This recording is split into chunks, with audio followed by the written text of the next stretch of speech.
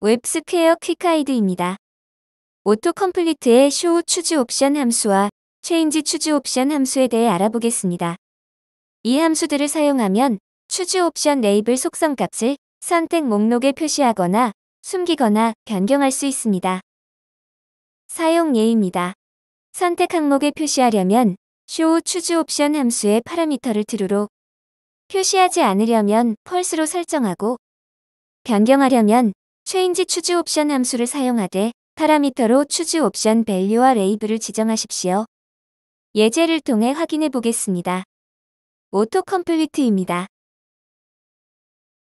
AutoComplete의 choose option 속성을 true이고 choose option label과 choose option value 속성 값도 정의되어 있습니다.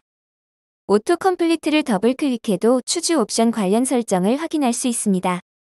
브라우저에서 확인하면 설정한 choose option label이 표시되고 각 항목을 선택할 수 있습니다. 첫 번째 트리거 버튼에는 onclick 이벤트가 걸려 있고 이 버튼을 클릭하면 AutoComplete의 choose option이 변경됩니다. 브라우저에서 첫 번째 트리거를 클릭하면 choose option label이 변경되어 표시되는 것을 확인할 수 있습니다. 두 번째 트리거의 onclick 이벤트는 chooseOption 레이블 값을 선택 목록에서 사라지게 합니다.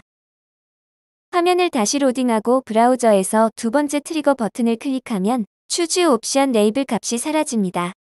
스튜디오로 돌아와서 AutoComplete의 chooseOption 속성을 false로 변경하고 두 번째 트리거 버튼의 onclick 이벤트 함수도 showChooseOption의 파라미터를 true로 변경합니다. 화면을 다시 로딩하면 chooseOption 레이블이 표시되지 않고 두 번째 트리거 버튼을 클릭하면 다시 표시되는 것을 확인할 수 있습니다. 웹스퀘어 Quick Guide를 시청해주셔서 감사합니다.